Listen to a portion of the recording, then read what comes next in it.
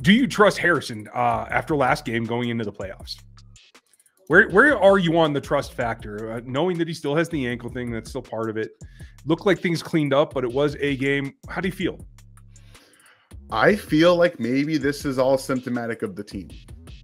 They buttoned everything up, just about everything up on sun, on Saturday. The holds were good, the kicks were good. He had one that kind of drifted over to that right, the right upright, but at the same time, he was perfect. There was no misses. There, there was the one kind of like, oh, okay, but other than that, it felt like everyone kind of buttoned it up, and that that's really what it comes down to for me. I, I think that they are locked in, ready. They're like, okay, we have to have a game where we put it together so that everyone remembers. right?